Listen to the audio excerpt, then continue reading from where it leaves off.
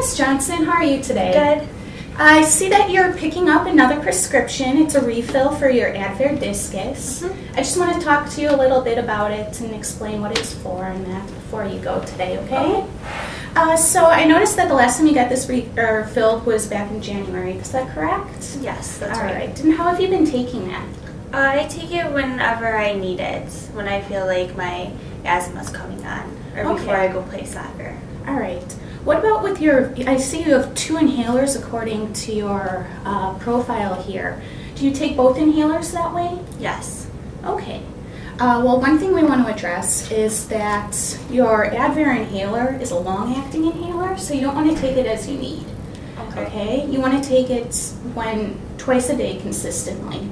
Uh, your physician wrote that you should take one powder inhalation by mouth twice a day. So that means you should only be using it twice a day, probably morning and evening, um, rather than just as you need. Your Ventolin inhaler is as you need, though. Okay. Okay.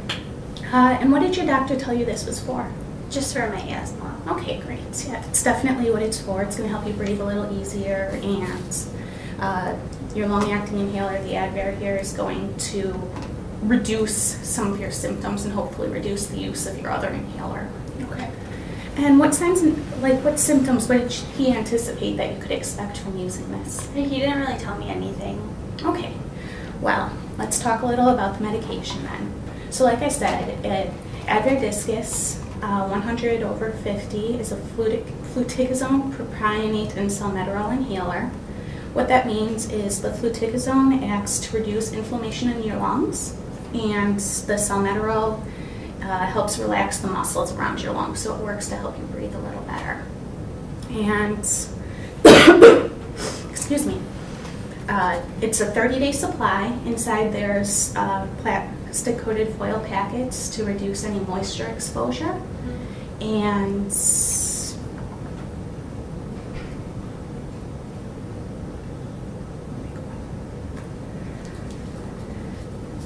um, it was written here that uh, you'll take it once a day, but- or you'll take one of the packets twice a day. So you'll be using two packets a day, so so it should take you about 30 days to go through the Okay. inhaler.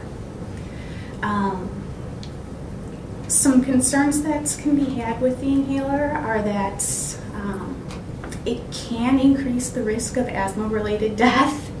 Um, it's not very common, and the use of your other inhaler may or may not affect that as well.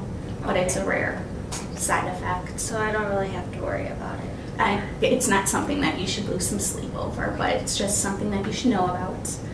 Uh, also, you should know that there is a possibility for decreased bone mineral density, which means as a female that uh, we lose bone as it is as we age. Um, so just kind of supplement with some calcium, you know, maintain that good bone health.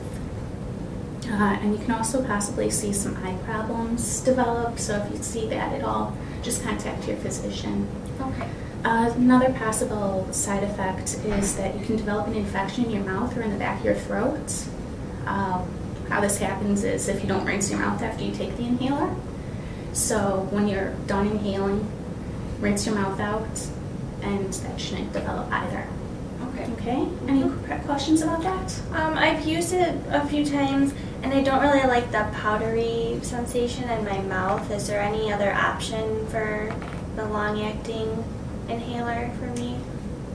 Um, it's something you can talk to your physician about, but this is what he's recommended for now, so continue taking it even though that's a problem for you, okay? Okay, I'll try taking it. All right, and then let's talk about how to use it. So you're gonna pop it open, and then you're gonna take a deep breath in and a deep breath out, and then you're going to inhale and push down Okay. on this.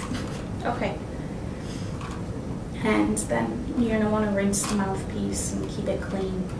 Um, You should store it in a low moisture environment so that, you know, even though the packets inside are a low foil or covered in foil, that way you're not risking any uh, possibility of losing any efficacy.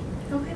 Do you have any other questions for me today? Nope, that's it. All right, great. Well, if you do have any questions, feel free to give us a call or call your doctor if you see any side effects or have any problems. Okay, thank you. You're welcome. Hi, Lee. It's good to see you again.